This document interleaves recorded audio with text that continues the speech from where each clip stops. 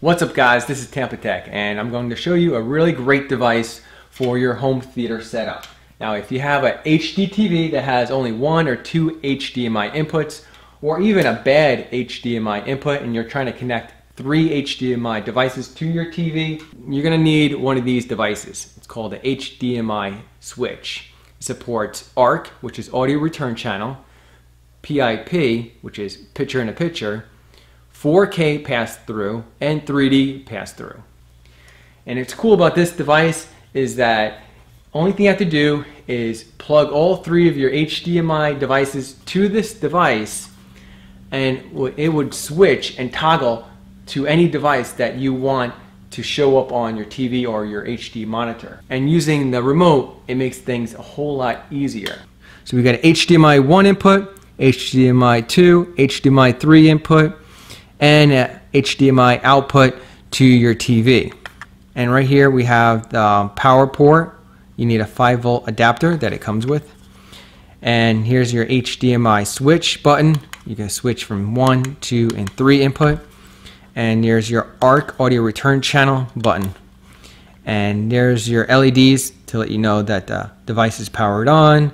The ARC is active, HDMI 1, HDMI 2, and HDMI 3 selector and also your output.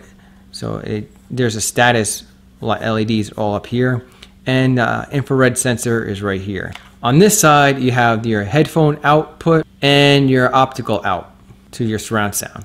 On the bottom right here you have the ability to mount it and you have padded feet as well. Alright so let's go ahead and set this thing up. Alright so I got my Amazon Fire Stick. I'm going to plug that into HDMI 1 I got my PlayStation 3. I'll plug that into HDMI 2. And I got my Chromecast. I'm going to plug that into HDMI 3 right here. And my output, this is going to HDMI 1 input on my TV. And it's a 5 volt power source. And you connect your headphones or connect this to your surround sound unit and there's the IR sensor right here. So make sure you put it somewhere where you can use the remote. So if you're hooking up a PlayStation 4, PlayStation um, 3, and a cable box, well, the auto feature will work better in that case because as soon as you turn on your cable box, it's going to detect that signal and it should automatically switch to that signal.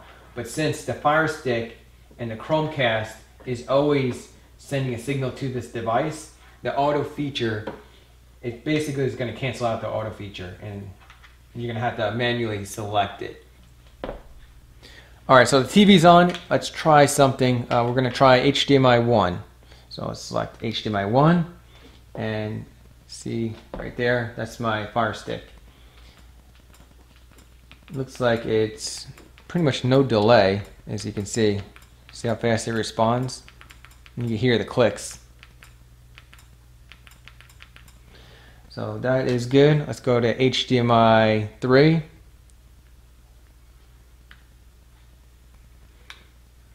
And that is the Chromecast, which is working right now.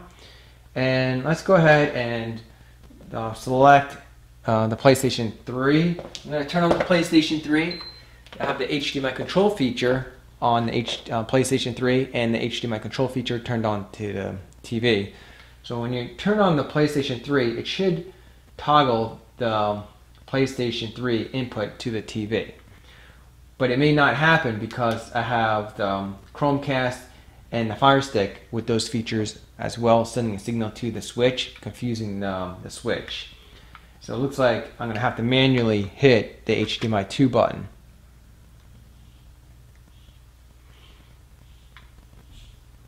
And then that's working fine as well.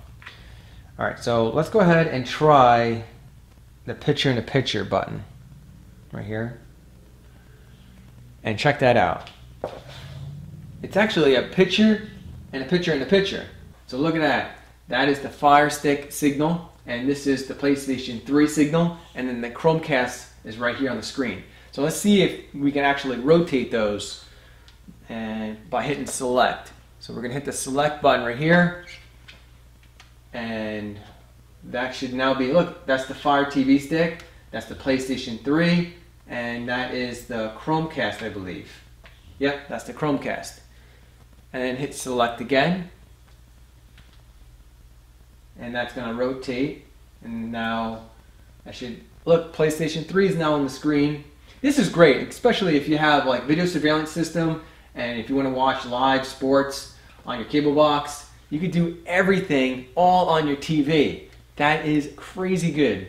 So if you guys are interested in this product, check out the links in the video description below. They have a five input um, HDMI input device and a three HDMI input device, which I just shown you today. So guys, if you know anyone that wants to expand their HDMI inputs on their home theater setup or has a bad HDMI input on their TV that wants more HDMI devices connected to their TV, click on the share button below and share this video to them. If you found this video informative, give me a big thumbs up. And if you want to subscribe to TampaTec for more how-to videos coming your way, click on this link right here. And if you want to check out some of my other videos, click on this link right here. Thanks for watching.